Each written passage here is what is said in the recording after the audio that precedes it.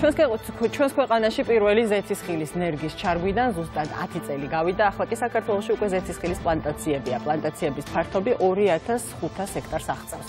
ჩვენი ქვეყანა ზეთისხილის საერთაშორისო საბჭოს წევრი და თავმჯდომარეც გახდა. ეს არის ორგანიზაცია, რომელიც სოფლიოს მასშტაბით ზეთისხილის შემოსავლის 90%-ს და ტრეიდინგის 74%-ს აკონტროლებს.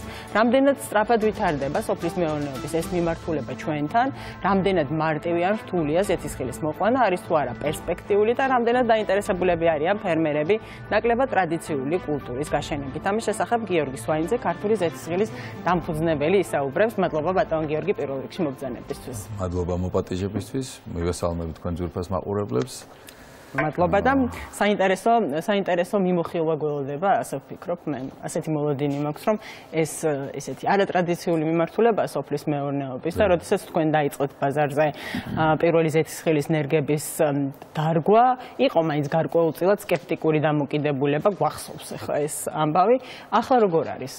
ახლა ინტერესი გაჩნდა, გაიზარდა, სხვა ფერმერებმაც დაიწყეს სამ კულტურის გაშენება თუ რა ხდება?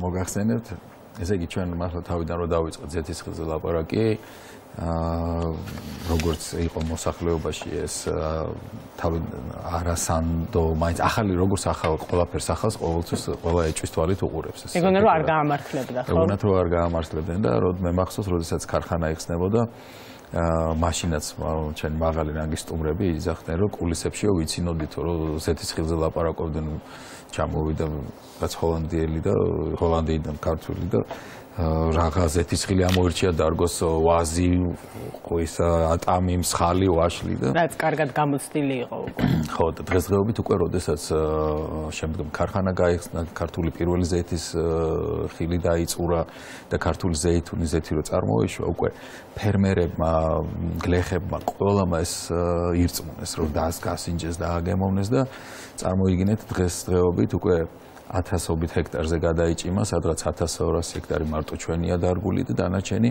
უკვე სხვა ფერმერებმა გლეხობამ ძალიან არა მარტო აითვის, არამედ შეიყვარეს ეს პროდუქტი. წარმოიდგინეთ, ერთხელ რო დარგავთ ხეს 1000 წელი ხარობს და აი თქვენ დარგულ ხელს თქვენი შვილები, შვილიშვილები, შულთაშვილები მოემკიან კიდევ და აი ამ ძლიერი კულტურა რომც მოჭრათ, დაწვათ, აი დარგვის მერე რაც არ უნდა მოუვიდეს, მაინც ცოცხლობს ისეთი ძლიერია სიცოცხლის უნარიანია და ქართული მიწა და ქართული ჰავა განსაკუთრებით მოუხდა თვითონ ჩვენ ენერგები სხვა თურქეთიდან ესპანეთიდან ეხა საბერძნეთიდან სხვადასხვა ქვეყნებიდან შემოქონდა შემოგვაქვს უკვე ენერგები და აი თვითონ საქართველოსი ყვის ენერგი იმ ქვეყანასთან შედარებით უფრო სწრაფად იზრდებოდა 10-12 სანტიმეტრი და უფრო მაღალ ხარისხის ზეთს გვაძლევს. ნუ რამდენად მარტივია ბატონგი? აა გაცილებით მარტივია ვიდრე ვახს. ძვირად ღირებული, ძვირად ღირებული კულტურა, ამისი მოვლაც, შენახვაც, გაშენება, თქვა 1 ჰექტრის შემთხვევაში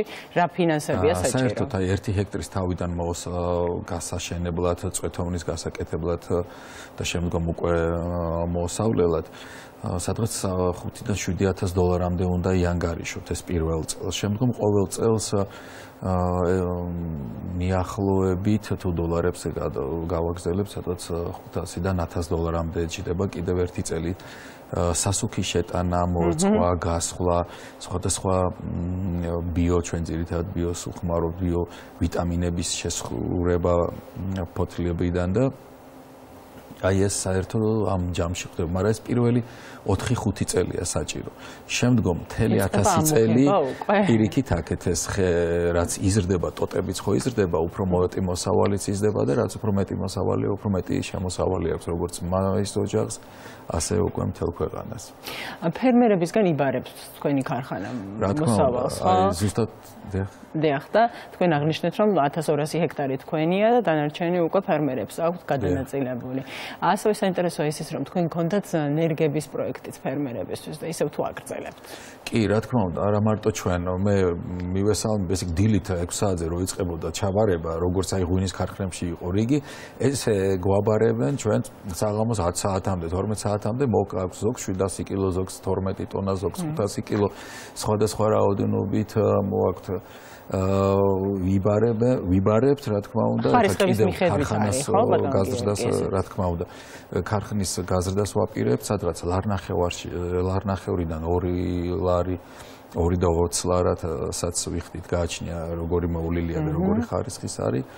რაც ნერგებს ეხება ეს არა მარტო ჩვენ არამედ მინდა აღნიშნო და ყველა თქვენ მაყურებელს უთხრა რომ ეს პროგრამები რაც აქვს დღეს სახელმწიფო სოფლის მეურნეობის სამინისტროს დანერგე მომავალი აწარმოე საქართველოში. აი წარმოიდგინეთ ენერგიის 70%-ს გრანტ სახელმწიფო ჩუქნის ამ ფერმერს და გლეხობას წვეთოვნის 50%-ს გრანტის სახით ისკივე საჩუქარი გადაეცემა ისევ ამ ფერმერს და ამ გლეხს წვეთოვნის გასაკეთებლად. აი საერთო ჯამში ესეთი მთავრო ესეთი ხელი შეწყობა ჩვენ მე გაახდით 2 წელი და კიდევ საქართველოს იყო ამ ზეთისხილის საერთაშორისო საბჭოს თავმჯდომარე ქვეყანა.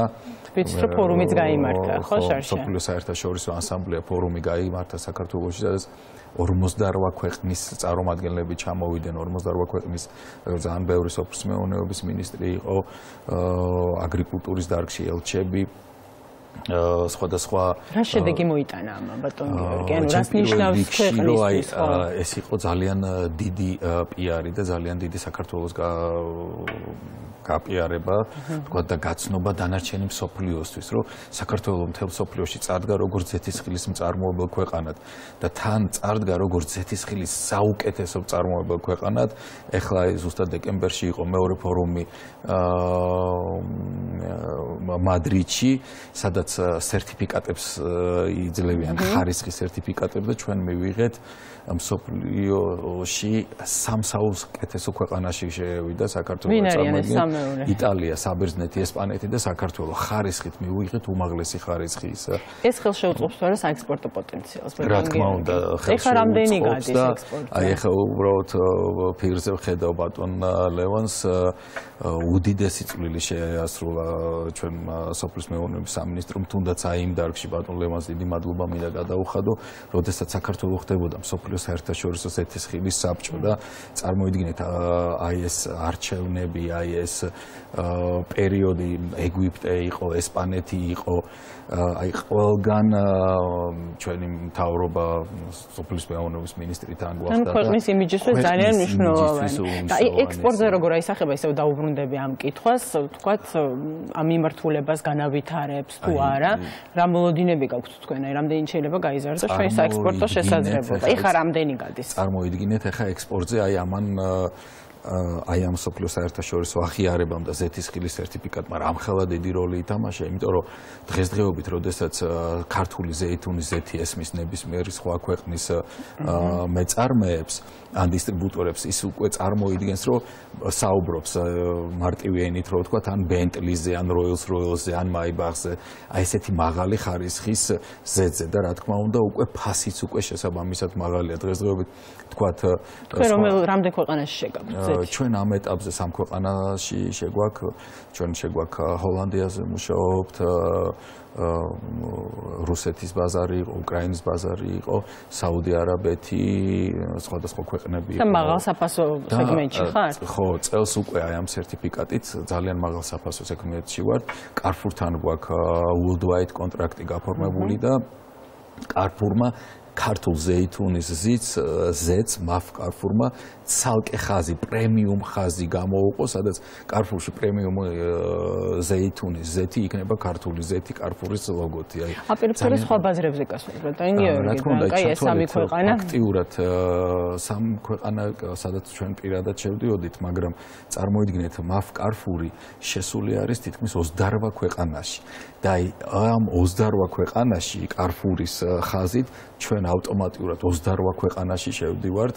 აი ამ ახალი სერტიფიკატი და ამ ჩვენი ახალი საუკეთესო ზესით ეს იქნება გაისად 24 წლის ბოლოს უკვე წარმოიდგინეთ თითქმის 28 ქვეყანაში იქნება ქართული სერიოზული გეგმები გაქვს 2023 წელსაც 23 და 28 ქვეყანაში 28 ქვეყანაში გაიყიდება თქვენი ზეთი და სამჯერ აპირებთ ქარხნის წარმოების გაფართოებას. გაფართოებას. იმიტომ რომ მე კიდევ ვთხოვ მოსახლეობას რაც შეიძლება მეტი ზეთის ხილი დარგონ, როდესაც დიდ ბრენდებზე საუბრობთ, ხო, ეს არის Carrefour-ი, Ocean-ი, აი დიდ ქსელებზე აუცილებელია ჩვენ დეფიციტში ვართ, არ ყოფნის პროდუქცია, რომ თქვათ ქართულ ბაზარსაც მოხმარდეს, ექსპორტსაც მოხმარდეს. ამიტომ რაც უფრო მეტი პროდუქცია გვექნება, უფრო თამამად ვისაუბრებთ ექსპორტზეც და უფრო თამამად ვისაუბრებთ დიდ ქსელებთან, ვისაც აინტერესებს აი ამ ხო ქართული პროდუქციის შეძენა. ძალიან დიდი მადლობა ბატონ გიორგი წარმატებებს გისურვებთ. ჩვენი სტუმარი იყო ქართული ზეთის ხილის დამფუძნებელი გიორგი სვანიძე.